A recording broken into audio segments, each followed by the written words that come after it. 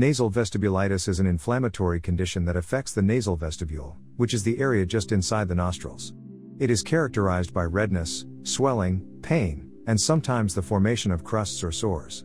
Understanding the anatomy and pathophysiology of the nasal vestibule is crucial in recognizing and managing this condition effectively. The nasal vestibule is the most anterior part of the nasal cavity and is lined with specialized skin called the nasal vestibular mucosa. It contains sebaceous glands, hair follicles, sweat glands, and numerous blood vessels. The presence of dense hair, known as vibrissae, helps to filter airborne particles and prevent them from entering further into the nasal cavity. The nasal vestibule also plays a role in humidification and warming of the inhaled air. Nasal vestibulitis is commonly caused by bacterial infection. It occurs when the protective barrier in the nasal vestibule is disrupted, allowing bacteria like Staphylococcus aureus to multiply and cause inflammation. This can happen due to trauma, surgery, nose blowing, or nose picking. Staphylococcus aureus is the most common bacteria associated with nasal vestibulitis. It is a gram-positive bacterium that colonizes the skin and mucous membranes, including the nasal vestibule, in some individuals. Other organisms, such as Streptococcus pyogenes and Pseudomonas aeruginosa, can also cause nasal vestibulitis, although less frequently. Staphylococcus aureus produces toxins that contribute to the inflammatory response observed in nasal vestibulitis. The clinical presentation of nasal vestibulitis can vary but typically includes symptoms such as redness, swelling, tenderness, and pain localized to the nasal vestibule. Patients may also experience crusting, discharge, and discomfort, especially during nose blowing or touching the affected area.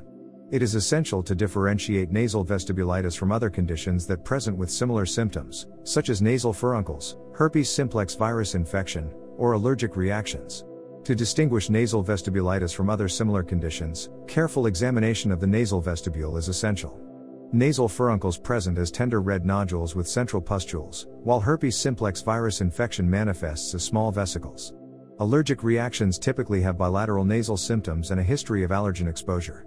Considering the patient's medical history and risk factors further assists in accurate diagnosis. While nasal vestibulitis is typically a self limiting condition, complications can occur if left untreated or in cases of severe infection.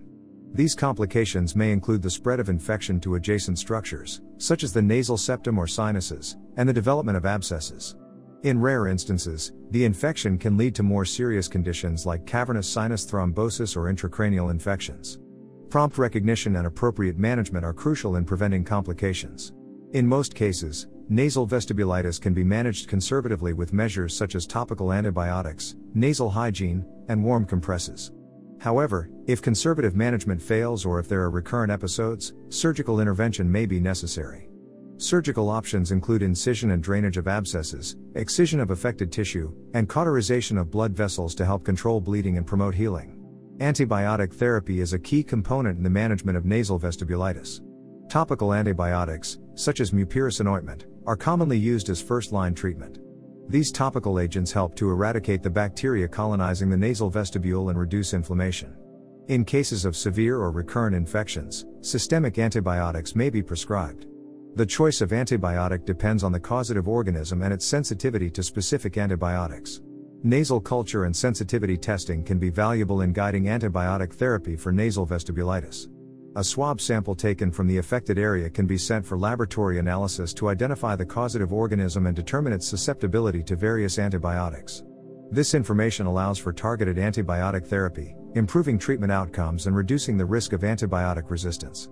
Nasal decolonization strategies aim to eliminate or reduce the burden of bacteria in the nasal vestibule to prevent recurrent episodes of nasal vestibulitis. Treatment options may include the use of antiseptic nasal sprays or washes, nasal irrigation with saline solutions, or the application of nasal ointments containing antimicrobial agents. These approaches help disrupt the colonization of bacteria and promote a healthier nasal environment. The immune response plays a significant role in the development and progression of nasal vestibulitis. When the nasal vestibule's protective barrier is breached, the body's immune system recognizes the presence of bacteria and initiates an inflammatory response. This results in the recruitment of immune cells, release of various mediators, and activation of immune pathways. Understanding the immunological aspects of nasal vestibulitis is crucial for developing targeted therapies and preventing recurrence. While most cases of nasal vestibulitis resolve with appropriate treatment, some individuals may experience recurrent or chronic episodes. Chronic nasal vestibulitis may necessitate long term management strategies to control symptoms and prevent flares. These may include regular nasal hygiene practices, the use of prophylactic topical antibiotics, or further surgical intervention in select cases.